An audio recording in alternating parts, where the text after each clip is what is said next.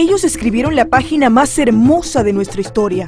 Ellos ofrendaron sus vidas por nuestra patria. Hay una situación de burla para el 9 de enero que, viene, que viene llegando.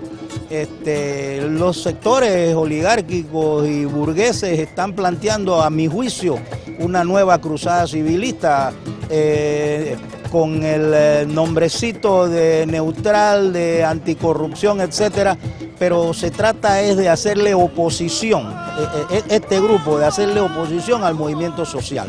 Entonces pienso que es importante que el pueblo despierte, que el pueblo se organice, que se, une a, que se una a las organizaciones que realmente han venido luchando por, cambiar la situación de injusticia social que hay en el país.